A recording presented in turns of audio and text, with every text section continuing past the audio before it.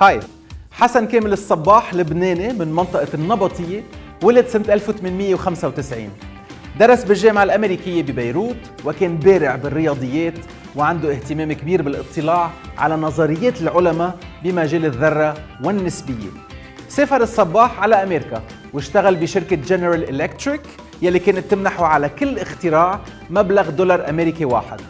وصل عدد اختراعات حسن كامل الصباح من أجهزة وآلات بمجالات الهندسة الكهربائية والتلفزة وهندسة الطيران والطاقة لأكثر من 52 اختراع. منها 37 اختراع منفرد و15 اختراع بالتعاون مع زملائه الباحثين بالشركة.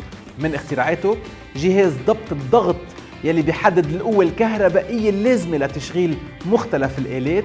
جهاز لنقل الصورة يستخدم اليوم بالتصوير الكهروضوئي يلي بترتكز عليه السينما الحديثة.